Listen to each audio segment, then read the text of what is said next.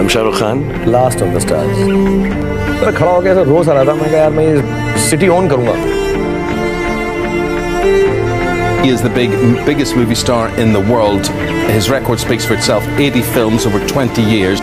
You see, this man here is Shah Rukh Khan. मुझे ऐसा लगता है कि मैं स्पेशल हूँ मैं सच बता रहा हूँ मैं बिल्कुल ये दिल से बात कर रहा हूँ और ह्यूमिलिटी से बात कर रहा हूँ बहुत विनम्रता और ह्यूमिलिटी से मैं कोई शो ऑफ़ नहीं कर रहा तो ये मुझे सचमुच लगता है कि मुझे इतना दिया गया है कि मैं और मांग नहीं सकता I have not come here to compete I have come here to rule